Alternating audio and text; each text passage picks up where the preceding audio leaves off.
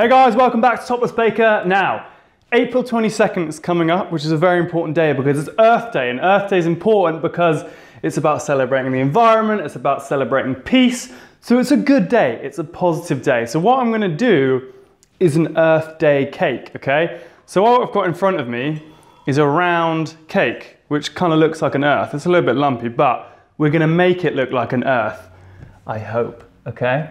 So the first thing we've got to do is make our buttercream, which is going to cover all of this, okay? So what I've got in my mixer is some very soft unsalted butter, about 250 grams, and we're going to beat that for five minutes until it's very light and fluffy. And then we're going to add in our icing sugar in three stages because it's an American buttercream. And we're to add our blue and our vanilla so that it looks like the ocean.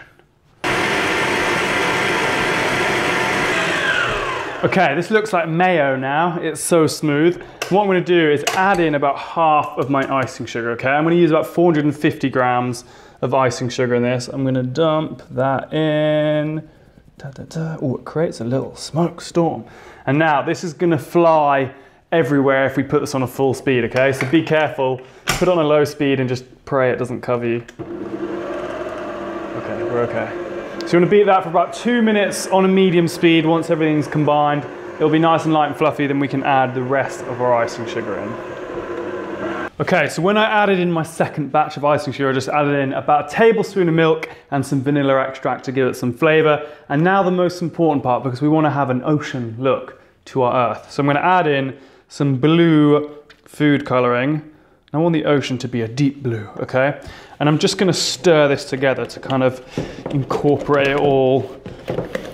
And then we can decide if we wanna add more blue or not. Now that's my kind of ocean. That's like the Maldives. Yes. Okay, so this looks good to me. That's like my dream ocean. If it was England, this would be green and you wouldn't be able to see beautiful colors in it. So I'm just imagining I'm in like Miami or something with this earth cake. So I'm gonna throw this into a piping bag, which I fitted with a round tip nozzle, okay? So throw that in there. There we go. And then I'm gonna squeeze this down my bag and we're gonna pull over our cake, okay? So the recipe for my earth, my core, is in the description box so you can download it and make it, okay? And what I've done is I've covered this in a bit of sugar syrup already. So sugar syrup is very important to keeping a moist cake. You guys know that. You watched my naked drip cake, okay? And I'm gonna create a layer of buttercream. So first, I'm gonna stick this guy down. Bop. In we go. And then we're just gonna spin this and we're gonna create kind of a nice even layer. And then once we've got that guy, we're gonna stick the top of our earth, the northern hemisphere, the northern hemisphere, the northern hemisphere of our earth cake, okay? And we're gonna stick that on. Look at that. It's looking pretty good, guys. So now we're gonna give it a little bit of a crumb coat, okay? So I'm literally just gonna spin this. and I'm gonna keep adding buttercream, covering it all over, okay? Until we've got a nice thin layer of icing over the top. And then once you've got this funny looking thing, you wanna spread this buttercream out, okay? And like I said, this is just a crumb coat. So don't worry about it looking like smooth or missing any gaps. You're just trying to catch any of those crumbs that are on the outside of your earth because we don't want a crummy earth. We want a peaceful, happy earth, okay? So just spread this around and just make sure you cover the whole cake. So that's pretty good to me. You can see it looks rustic, but it's fine. Now at the moment, this is too warm. If I start to try and design it, it's gonna melt. So I'm gonna stick this in the fridge or the freezer for like 10, 15 minutes just to set up that buttercream a little bit. It is boiling in London and it is not good cake making weather. So I'm gonna go chill this guy down and then we can come back and finish our gorgeous ocean. Gorgeous. Okay, this is chilled. It's nice and cold. It's got a good crumb coat. So what we're gonna do now is kind of finish the ocean. So that means I need to add another layer of buttercream. And basically I'm gonna just use my spatula to kind of peak it like that. And that's just, I want that kind of wavy ocean effect because there is no way in heaven I'm ever going to get a perfectly smoothed iced ball. I'm just not that skilled. So I'm just going to do peakiness to give you waves. So I'm going to just add more buttercream around the whole thing and then we're just going to start peaking it. That's my definition for creating waves. And starting from the top, you kind of just want to work this around again. Dun, dun, dun. Just creating that kind of layer of smooth buttercream again, okay?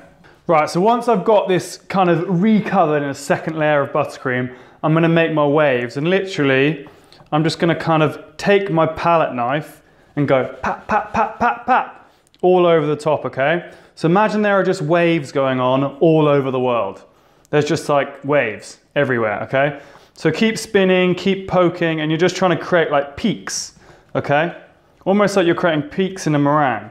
Just take this end of your palette knife and you're just kind of picking it up and down. Kind of looks like spiky hair. Okay, so we've now got this wavy world. We're surfing dudes, okay? There's waves everywhere. And now we need to create the countries to go on top. And I'm probably, I'm just need to admit off the bat, guys, I'm not gonna be able to replicate all the countries. My drawing skills, down here. Baking, much better. Drawing and countries and geography, not good, okay? So I'm gonna try my best, and I feel like I probably guarantee the countries are gonna be out of proportion. They'll be too big or too small. We're gonna figure out, okay? So this is ready rolled green icing, okay? I'm not gonna even bother making icing. Get this stuff from the store, so much cheaper, okay? And I went onto my iPhone and I templated some countries. Can you tell what country that is? That should be America. And this should be Africa, okay? So I've just created little templates which I've drawn out, okay? And what I'm gonna do is roll out my icing until it's kind of thin. And like you would roll a dough, like a bread, you would cover it in flour. When you're doing icing, you cover it in icing sugar, okay? And we wanna roll this guy out just to get it into any kind of shape. It doesn't matter because we're gonna cut around it and create what should like look like America and Africa. And then we're gonna roll this out until it's kind of that thin and we're gonna cut what I hope looks like America and Africa and maybe some other countries, but we'll see, okay? So I'm gonna put my country down. That is Florida. That is Miami, that's where we are right now. And I'm gonna take a knife and I'm just gonna really kind of carefully score around this fondant icing. And then when you peel this off, you should be left with something that resembles a spiky America, kinda. I don't know why Florida is so spiky and why New England's like that. But anyways, you get the idea, okay? So I'm gonna repeat it. I'm gonna make a few more countries or shapes as I'm gonna call them. So I'm gonna keep cutting this out, keep rolling some fondant, and then we can stick them onto our surfy earth. Right, so I started cutting out all the countries and I realized that I can't cut out individual countries. I need to do continents, okay? So I've got Africa, North America, South America, Australasia, Asia, everything, okay? It's not gonna be amazing, okay? I couldn't groove in between all of Mexico and all of South America, but it's okay. We got there, okay? So we're gonna start with North America. So we've got Canada, America, Mexico, all right? And we're gonna stick that here, okay? Stick that guy on, boom. Is that accurate? I hope so. And then below that, we are gonna put South America, okay? Which kind of connects, doesn't it? There, like that. Oh my goodness. That looks legit.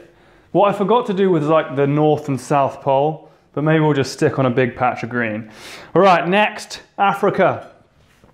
So we're gonna come round here, I think, with Africa.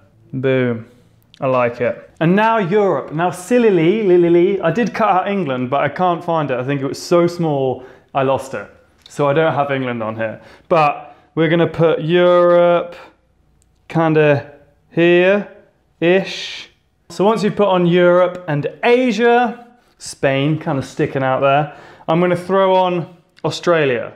I cut out Australia so badly, I don't even know where to start. I'm not even sure like what's north, what's south, so I'm going to do that.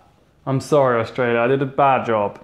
So I'm gonna put you guys down here. So on we go with Australia. Now, Hong Kong, New Zealand, I'm sorry. You were just too small, I couldn't fit you on. So I didn't put you on, I'm sorry. And now we're left with a world which I will admit is, is gaping. But you have to remember that 70% of the world is covered in water. So we've got some lovely countries here, okay, on our world. And then we are missing a big patch, okay? That's probably the, the only issue with my Earth Day cake. But I need to add something up here because there's definitely bits up here. But I'm pretty happy with that. Considering I've never made an Earth Day cake before, there we go. So happy Earth Day, guys. I need to add another country on top and just enjoy it, okay? Celebrate with your loved ones, celebrate with your friends, celebrate with people from different countries which are much more accurate than the ones that I've cut out. If you want the recipe, it's in the description box. Bucks. I'll see you next week. Bye! Like, look like America and Africa, but we're not promising. I got that wrong.